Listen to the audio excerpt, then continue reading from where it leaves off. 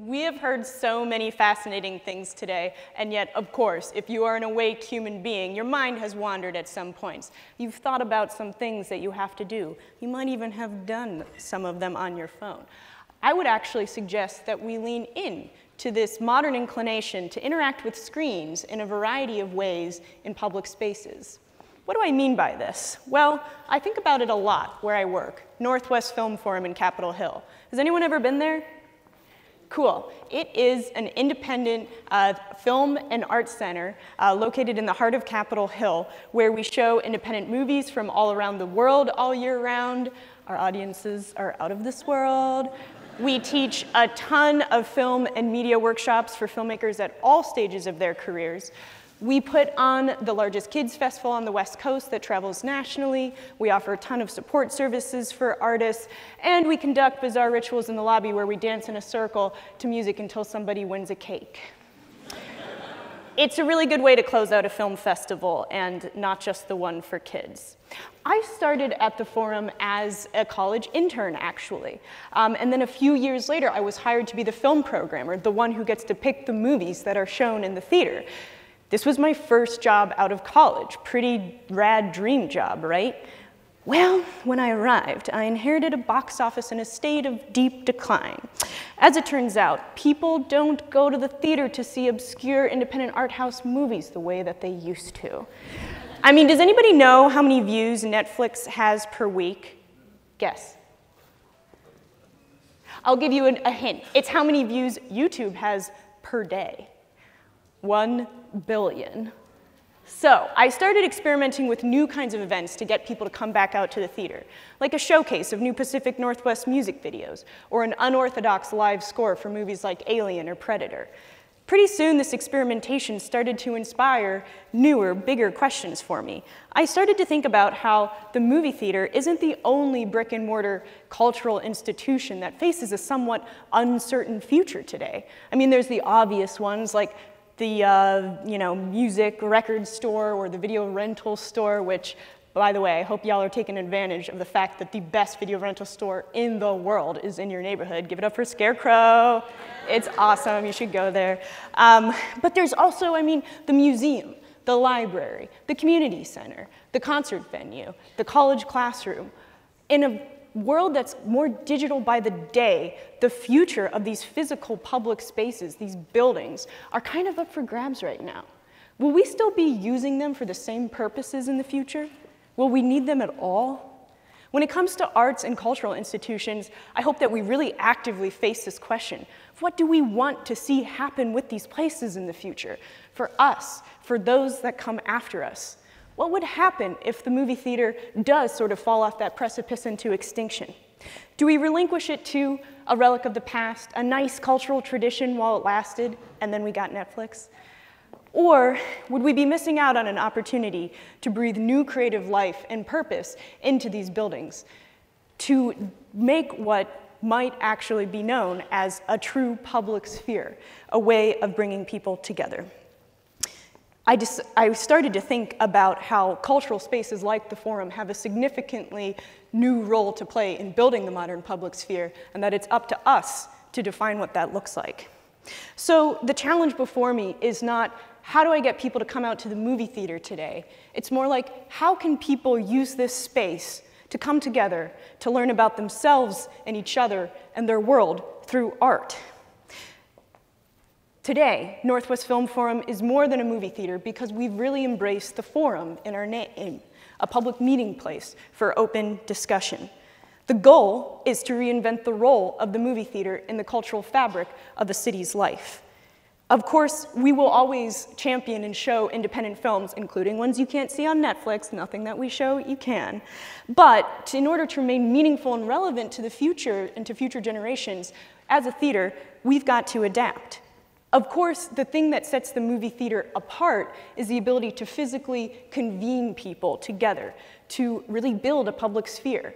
When you start to think about the theater this way, all of a sudden, so many more possibilities open up for what you can do when you've got a great big multi-purpose canvas and a whole ton of seats. And it also helps to have a bar in the lobby.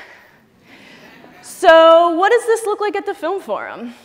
Enter the Seattle process. Let's talk about it some more. This is basically the daily show for Seattle. It's a local politics comedy talk show hosted by comedian Brett Hamill and featuring uh, guests like Senator Pramila Jayapal, uh, socialist uh, city council person Kshama Sawant, uh, the Black Lives Matter organizers who interrupted Bernie Sanders here in Seattle. Guess what their stage entrance was like? On the show. It was great. Nobody in the audience knew it was coming. At the process, the screen becomes a canvas for tweets and jokes and games and intertitles and uh, Skype sessions and videos, and a way of uh, bringing up the sordid past of a guy running for city council who used to be a male model. As you can tell, this show isn't really like eating your civic vegetables while tuning into talk radio. People come to the show on dates, with work friends, with organizing friends, with the desire to meet somebody new, to be inspired by a leader in their city, to laugh, who knows, maybe to cry. All the things that you go to the movies for, right? Another example, the future is zero. This is a live game show that we do in the theater where we actually remove the screen entirely to reveal this elaborate two-story set that we built. The contestants each time are artists from different disciplines. Um, and on the far side there, you can see Ken Jennings, the king of Jeopardy himself, just competed a couple weeks ago. We actually tried to rig the game so that he couldn't win. He still won. Contestants compete in games like alt-right or alt-writer, where they have to look at a series of photos of nondescript dudes in glasses and guess whether they're a member of the alt-right or a writer for an alternative publication like Pitchfork. Exhibit A, Exhibit B. In another game, they have to catch popcorn that's thrown from a cannon powered by a leaf blower on the second story of the set. And yes, that is uh, the editor for film of The Stranger, uh, Charles Mudede, who was forced to wear a hat for the entirety of the game. So both The Future is Zero and The Seattle Process have this live studio audience feel. And both of them combine art and goofy creative fun to grapple directly with political issues that are affecting people's lives today. The Seattle process even spawned a spin-off show called the Shadow Council, which is basically a people's legislative body where the audience becomes the governing body that can propose via the democracy bucket and debate pieces of legislation, such as the Unsalted Snack Regulation Act that states that all unsalted snacks should be required to have the word unsalted be in the largest font on the bag. Guests have included current mayoral candidate and former TED UX speaker, or UW X speaker, uh, Nikita Oliver. So how do we create this public sphere for art and action? At the forum, it means moving away from having an ordained curator choose every movie and every event that's happening and opening up new channels of access for the community and the public that we're intended to serve to tell us what they want to see. Multiple events have started in Facebook comment threads, for example. I think it's pretty clear that we can no longer do politics uncreatively. That's where art and art spaces come in, to keep it fresh, to give us ways to plug into our civic surroundings through creative expression. We all know that online conversations are different from offline ones. And it's so critical, I really believe in this, in the unique capacity of artistic events in the physical public sphere to drive political action. Art has always played a crucial role in pushing society forward by creating change in how people view and experience the world.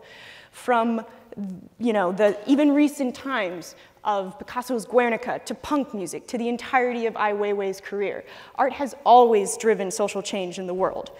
There's so much room for creative play, for how we can mobilize art to create and build understanding and strength and empathy in others.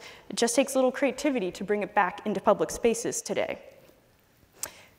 Given the heightened need for political action on a daily basis today, the forum set out to harness the potential to build a collective creative resistance on a national level.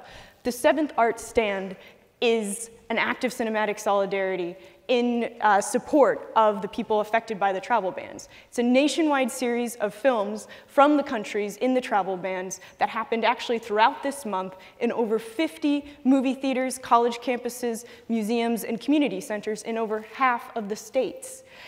It was in the New York Times, which was pretty cool, And it was supported by people like Ramin Bahrani and Woody Harrelson and Steve Buscemi and Laurie Anderson. It was an act of cinematic solidarity to show the people whose voices and stories and faces aren't seen enough on US movie theater screens that we're there with them, that we believe in supporting them. Because without the freedom to speak, to act, to interact, the possibility of democracy vanishes. And public space is where democracy happens. Visual storytelling may be the most powerful single form of communication in the world today. Think about it. The word video has become literally synonymous with the word story on Instagram and Snap. This is an incredibly powerful tool. Let's wield it wisely. You've heard me talk about just one way of thinking about reinventing one kind of cultural institution, the movie theater. But think about what can happen when you take any number of contemporary modes of expression and exchange and bring them into public spaces to infuse them with new creative purpose that are more relevant to more people today and in the future. I think we live in an incredibly exciting time to do this, and it really is up to the next generation to take these buildings and make them new again. Of course, this can look like a million different things in a million different ways, but the common ingredient is actually physically coming together IRL, in real life, in public, and I can't wait to see what you all do with that. Thank you.